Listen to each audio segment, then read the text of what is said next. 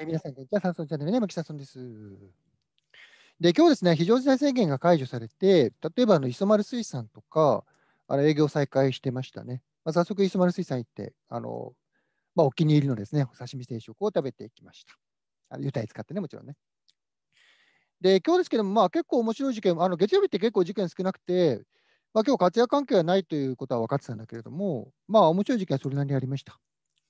で、4件くらいちょっと紹介しておきますね。他に2件面白いのがあるんだけど、まあ、ちょっとそれはですね、大人の事情で、えーと、今日は言えないと。まあ、いずれ発表しますっていう、あの詳細分かったらね、あの私を発表しますっていう話ですね。まあ、1件目はこの令和2年はの3173758ということで、前澤友作さんがニフティ訴えた事件ですね。まあ、これは1回僕閲覧したことがあって、まあ、続きって感じですね。から2件目は、えっと、令和2年はの9103で民事8部ですね、あの会社法の事件ですね。で、取締役決議無効の事件で、まあ、K さんという方と、あのポンスという会社の、まあ、これ、もとアムスクって会社なんだけども、ここの前のですね、社長夫人の方がですね、えー、会社を訴えていると、まあ、いうことですね。なんかどうも、社長さん離婚したんじゃないかなと思うんですけどね。まあ、こういう面白い事件も見つけました。からあと、令和3年は33522ということで、えー、これ、令和2年だったかな？はい。多分2年だね。えー、これ民事一部の事件ですけども、有限会社マフネというですね、えー、会社が大和ハウスなんかを訴えてる、あの移転登記なんかの請求の事件かな、えー、なんかなんだけども、この有限会社マフネの代表者がですね、まあ、登記の魔術師と言われるあの小野塚清さんという、まあ、有名な方なんですよね。まあ、なんであの、ご本人会えるかなと思って見に行ったんですけども、まあ、弁護士選任されてね、あの弁護士さんがいらっしゃったと。いうことですね。これ次回7月の19日と、まあ、いうことになっております。からあとこれあの、直接全然僕が見つけたわけじゃないんだけども、新聞に載ってたんで、まあ、たまたま見たんだけども、えっ、と、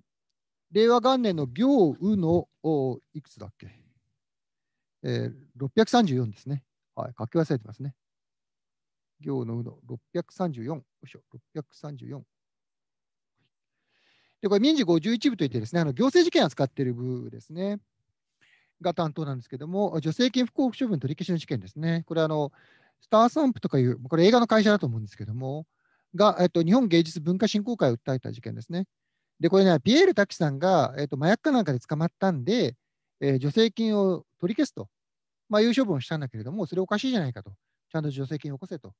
まあ、いうことで訴えて、これ勝ったみたいですね。うん。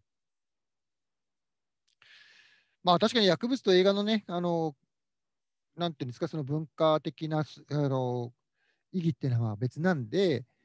まあそうっちゃそうなんだけどね、ただまあ、じゃどの映画に文化的な価値があって、どの映画に文化的な価値がないのかっていうことを、まあなんか、誰かが決めるっていうのはなんかおかしいんじゃないかなっていう気がしますけどね。やっぱりそれはあの映画を見る人がどれだけお金を払うかによってなんか決めるべきなんじゃないのかなっていうに、まあ、ちょっと僕なんかは思っちゃうところですね。うん、で映画で思い出したんですけど、あのヒロシさんがですね、あのまあ、グレーゾーンがですね18日までちょうど公開だったということで、まあ、それで総括みたいなですねあの動画をアップしてましたね。で、まあ、グレーゾーン、僕も初日ですね、6月4日に見に行ったんですけれども、あのまあ、ヒロシさん、まあ、30分ぐらいの動画だったんですけど、まあ、全部聞いたんですが、まあ、要するにその、まあ、映画自体は結構評判良かったと。ただ、その運営面ですね、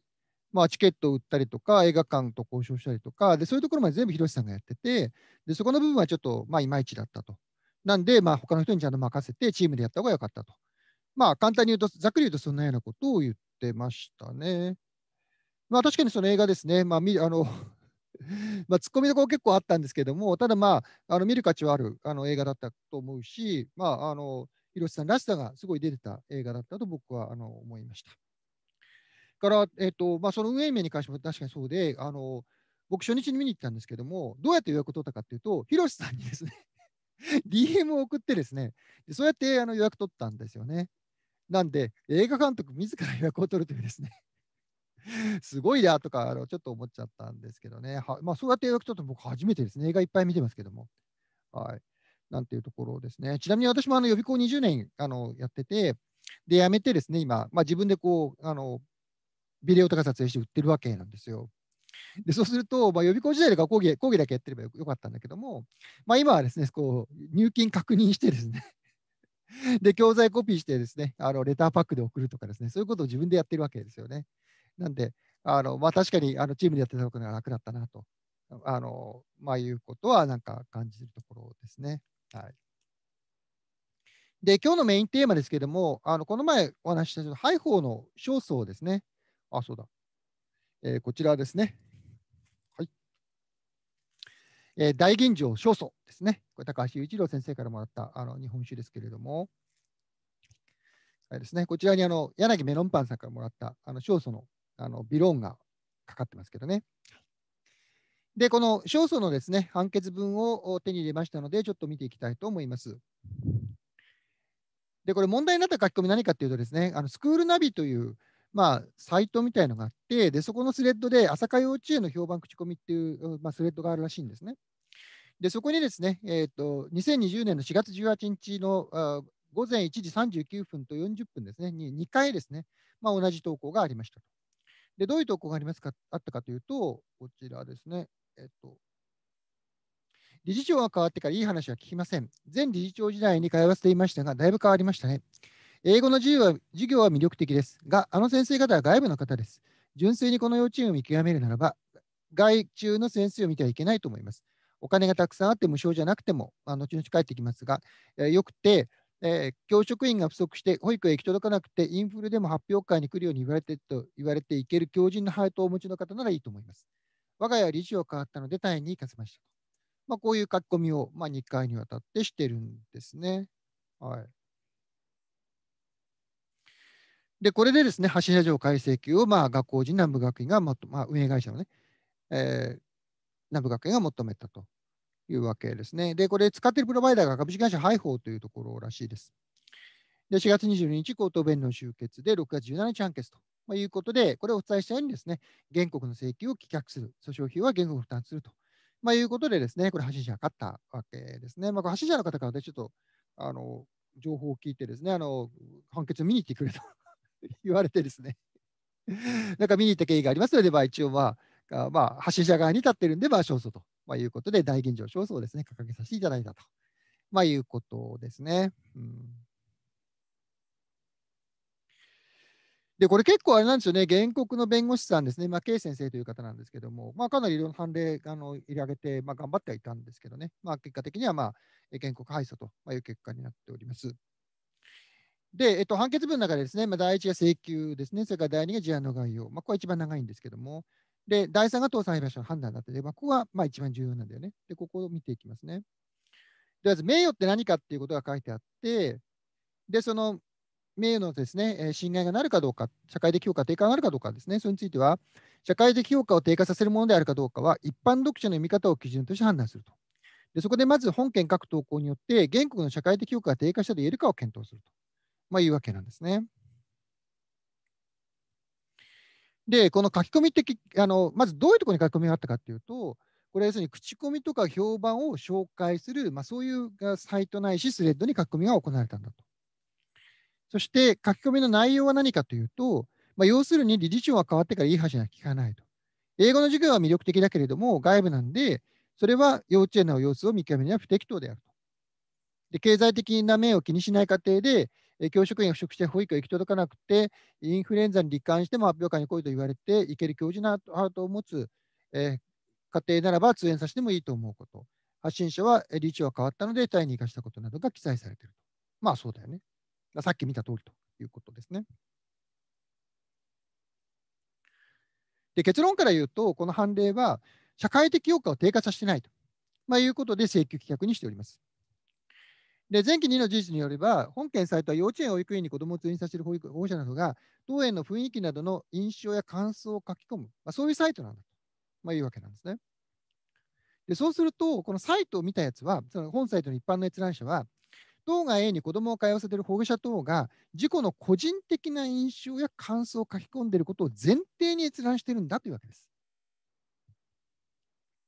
でそういう読み方をするとすると結局その今言ったような感想を持っている元保護者がいるというふうに読むんだと。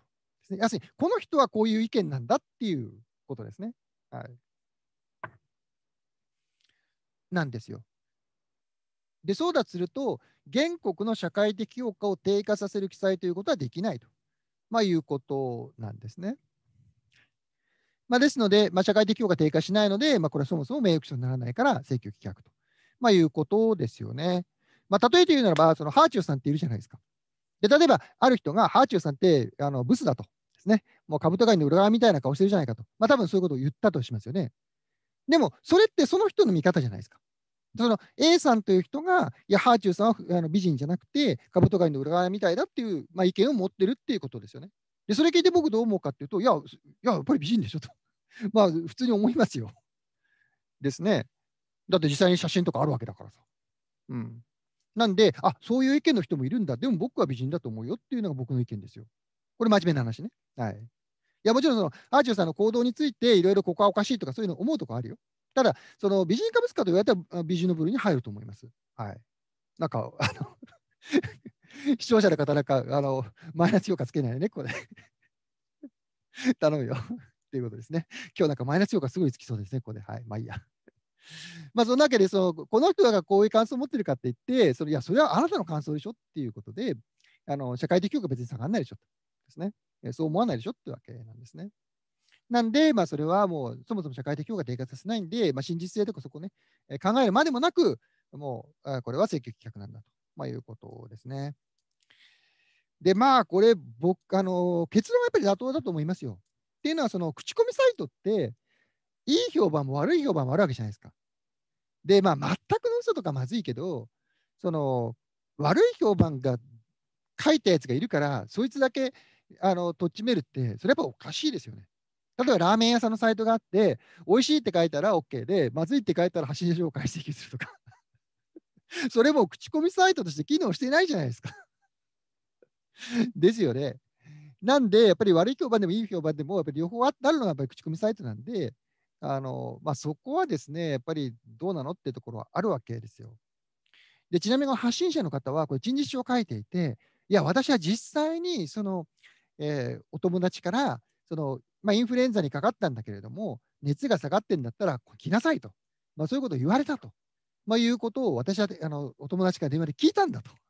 いうことをですね、陳述書書いてるんですよね。これ厳密に言うと、だからそこのさ、真実性の争いで、あのこれが真実なのかっていうのを争点で争うべきなのかもしれませんよ。ただ、それやっちゃうと この発信者の方は陳述書書いてるわけだから、発信者の方呼んで承認尋問やって、で、原告反対尋問やって、それで、あの、発信者の言ってることがですね、正しいかどうかですね、あの嘘言ってないかどうかですね、その態度ですとか、それから反対尋問された時のうろたえ方とか、まあ、そういうのを見て判断すると、まあ、いうことになるんだけど、発信者の方呼んじゃったら、もうその時点でこの裁判の意味ないじゃないですか。発信者情報、発信者が誰かっていう裁判やってんだからね。なんで、まあ、その本当に真実かどうかってことを突き詰めていくと、結局発信者の方を呼んできて、証人尋問するしかないんだけども、